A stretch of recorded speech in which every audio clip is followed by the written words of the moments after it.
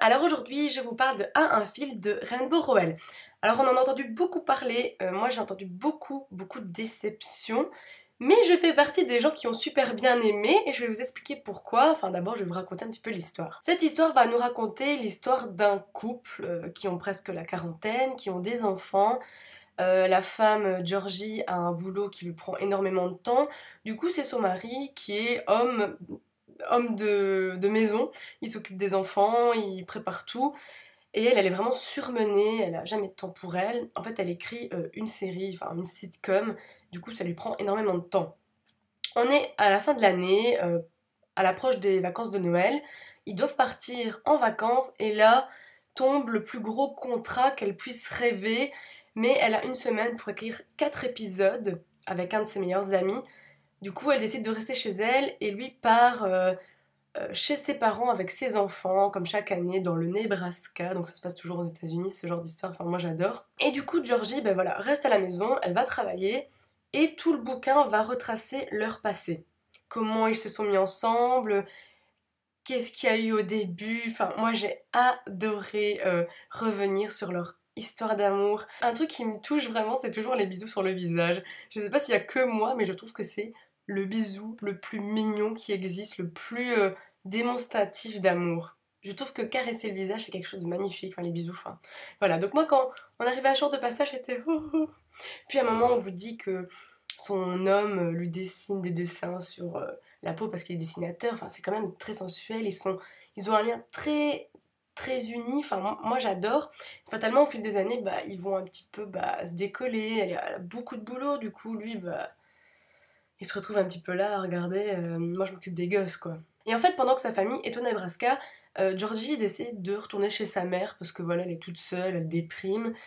Et euh, la technologie fait bien son affaire puisque fatalement les iPhones, on sait très bien que ça tient pas la batterie. Elle va devoir téléphoner à son mari avec un téléphone jaune à cadran.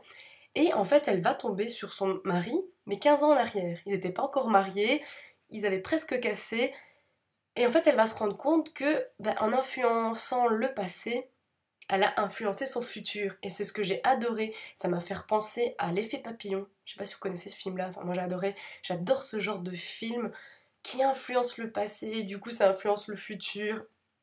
J'adore ça. Moi, les histoires avec du temps qui change, ça me prend à chaque fois. Alors, du coup, vous allez vous poser plein de questions. Vous avez envie de savoir si elle va se bouger, si elle va aller les rejoindre, si lui va aller la rejoindre. Euh, si en fait il l'a quitté, parce que apparemment toute la famille de Georgie pense que son homme l'a quitté.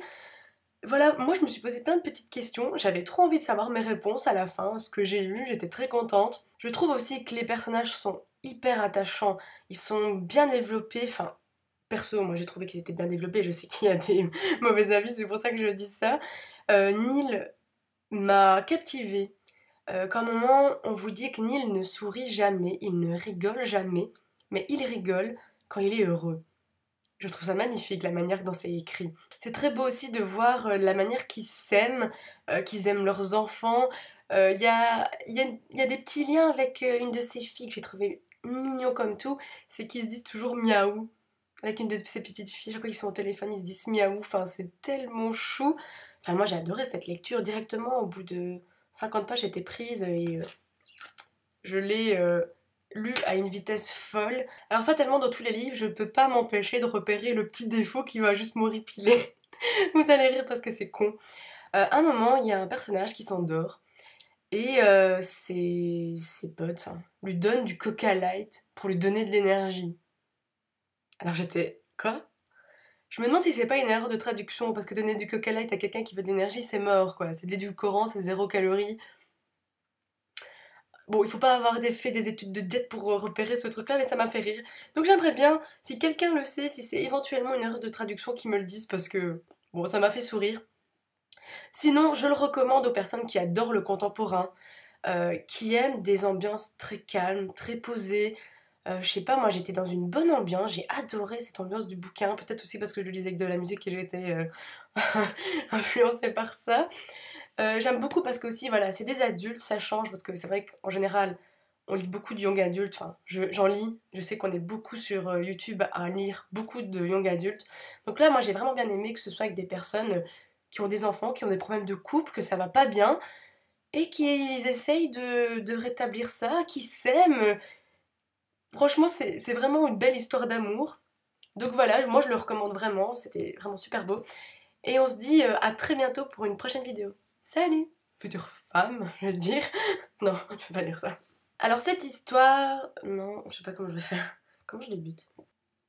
Qu'est-ce que j'attends? Je sais pas.